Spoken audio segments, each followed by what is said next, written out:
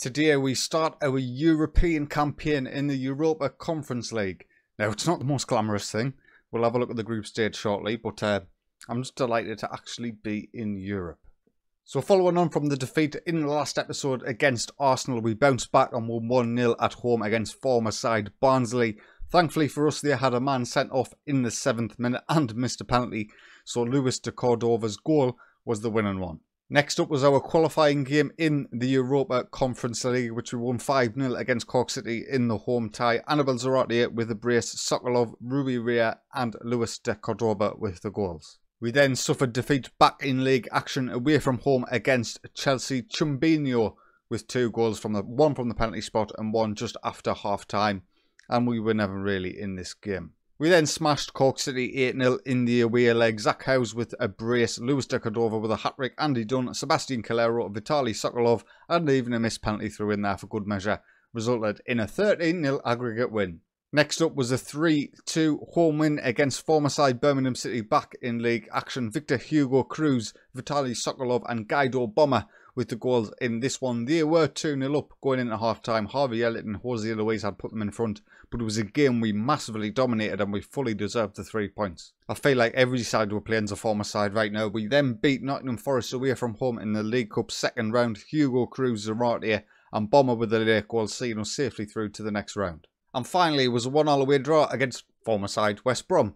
Malungu had put them in front 54 minutes in. De Cordova equalised in the 64th minute and that sees the Premier League table looking like this. We currently sit in ninth position, seven points after five games isn't too shabby.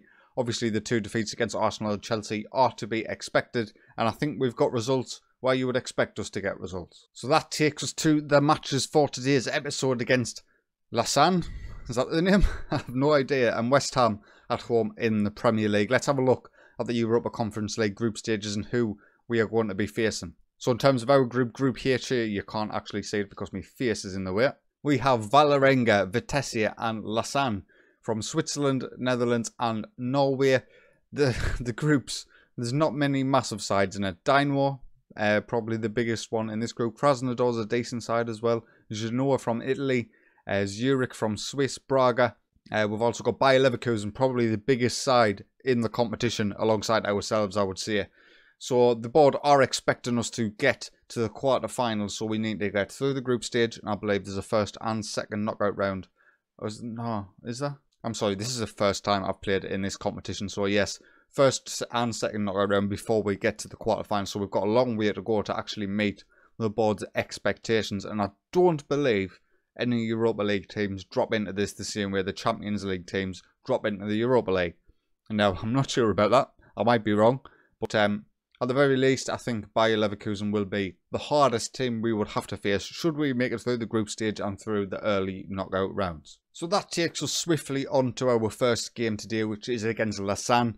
Uh, away from home in the first leg, that is not too bad by my estimation. I would, I want to see where our sort of quality level lies. I anticipate being able to beat this sort of side pretty conve uh, conveniently, consistently um, but you never know, where you might end up getting a little bit of a surprise. This will be the side for today. Stefan Polk in goal, Nuno and Bomber at centre-back, Delonzo and Rada as our wing-backs with Buckle sitting in the defensive midfield role, Rui Rea and Sokolov in the centre of midfield with Cruz playing behind Zarate and De Cordova. Zarate, by the way, hasn't scored a Premier League goal, but is by far the highest average rating. He is fantastic. Three assists in the Premier League, three goals and eight assists in all competitions in eight games. Obviously, they're massive, massively inflated because of the Cork City results in the previous couple of European games, but I'm really enjoying his work. And if he can add some more goals to his game at the same time, then we've got ourselves a real, real star in our hands. They come at us with a 4-5-1. I recognise no names. Let's get the kick-off. Highlight for us, Rui Ria with the corner. Bomber gets his head on it. We've seen that a good number of times now. The 6'6 centre-back getting on the end of the set pieces. We are aiming them towards him as well. So uh, that near post corner is definitely proven to be effective for us. As Zarate brings it down the right hand side, cuts inside the box. I'm not sure if that was a shot. I'm assuming it was a shot. If it was, that was dreadful. Another corner now. Rui Ria again, the man to take it. Zarate gets there first and he can't get his header on target. A decent enough start to the game for us, but we really need to get a goal. And we have ourselves a penalty 23 minutes in, and it'll be Annabel Zarate, oh, Sokolov. Sorry, It's Sokolov. He's our penalty taker. Not so right there. He steps up and buries at the bottom left-hand corner. No chance for the keeper. And with his fourth goal of the season, we go 1-0 up. Another set piece. Zarate this time takes it. He finds David Nuno at the back post. And he can't quite get his header on it. We have ourselves another highlight with only seven minutes to go of the first half. Radek Rada with a throw in on the left-hand side. He finds Sokolov in the box who goes for goal. And he's inches wide of that back post. An impressive performance by us so far. Not really taking our chances though. So hopefully we can do a little bit better than that in the second half. First highlight comes one minute in. de Cordova with the ball on the left-hand side gets dispossessed. And thankfully, we were able to stop that counter-attack before it even started. Sokolov to Rui Ria, to de Cordova once again on this left-hand side. He gets to the byline, he, he scores for goal. And I was about to absolutely shout at him for shooting that. Um, his seventh goal of the season. And he puts us 2-0 up 46 minutes in. I don't like it when you shoot from the byline. I don't mind when you score though. At the front post, the keeper should do a lot better than that, definitely. But uh, I'm happy with that. Seven goals for the season for de Cordova. He has been developing quite nicely, our young English striker. And hopefully, with a full season under his belt, he'll become one of the best English strikers in the Premier League. With only 20 minutes or so to go, we will look to make some changes to save some legs. Mario Buckle will come off for Chris Dubelbis in the defensive midfielder role. Guido Bomber can come off for Zach Howes. And Sokolov can come off for Sebastian Calero. That's what I like about this squad. I feel like we've got some pretty capable uh, players on the bench. Might not be exactly the same sort of level as our first team, but getting pretty close there. And uh, it's definitely doing us not too bad when we have to rotate. Rada switches the ball to Delonzo. Walter Delonzo, by the way, is now a natural outright wing back. I'm hoping that he is natural would see an improvement, an improvement in his match performances playing in that position and it'll only get better over the course of the season. He gets his first goal of the season. The two wing backs combining with only 12 minutes to go. This game is over. Can Lausanne get themselves a goal back? Um, I mean, is that offside? It's not offside.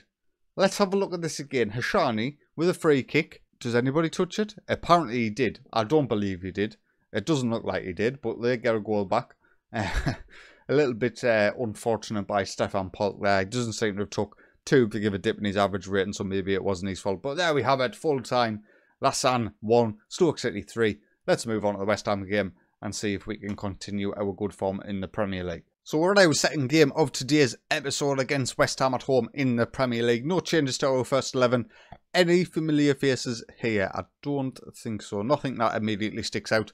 4-3-3, pretty attacking by West Ham. We'll get to kick off and see how we handle that and how they can handle our attacking lineup. First highlight of the game comes 11 minutes in. We are on the attack down the left-hand side. Radek Rada gets stopped by the West Ham right back, but he whips it in. Zarate down to Delonzo.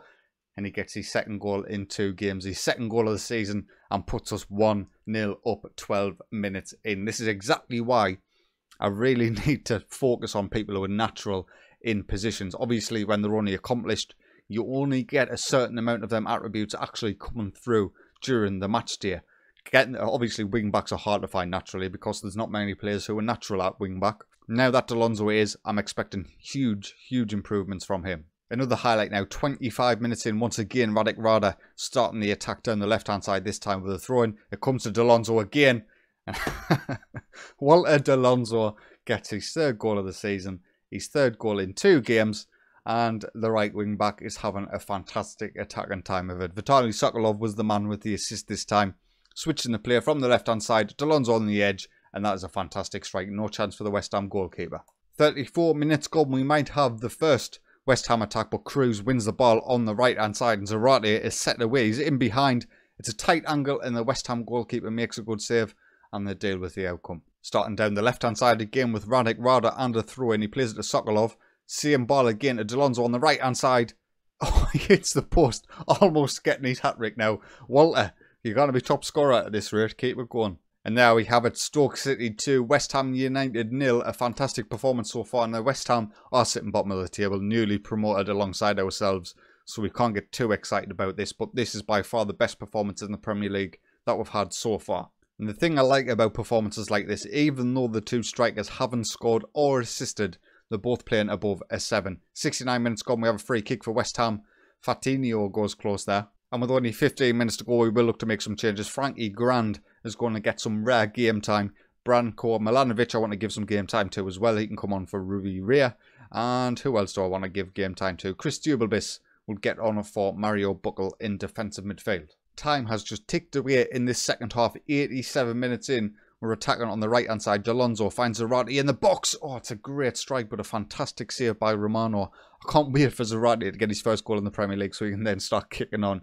But we do have a corner it's played in and it's cleared by the West Ham defence. And now we have it then, boys. Stoke City 2, West Ham United nil. A fantastic result and a fantastic performance. And Walter Delonzo is coming into his own. So that result there sees us lie in 8th place at the end of today's episode. 10 points after 6 games is not too bad at all. A few sides, few of our former sides above us in the league, but hopefully we can start leapfrogging them and put a good run together. We've played some tough sides in the Premier League so far, so hopefully we'll have a little bit of an easier run over the next 10 games or so. I mean, this board, I'm really confused by it. Only giving us a B minus for that 2-0 win against West Ham, a C plus for the other win.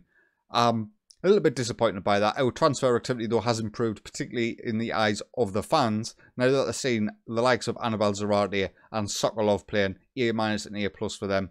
Uh, a plus for Luis de Cordova as well, because they're delighted with his performances. And um, yeah, our club vision is looking pretty good on a B plus right now. Looking forward to the next episode then. Um, it's going to be back in Europe, of course it is. Probably Vålerenga, and then we'll look to play Vitesse in the episode after that. But if you have enjoyed today's video, boys, please consider leaving a like. And if you are enjoying my content, get yourself subscribed. But until next time, take it easy.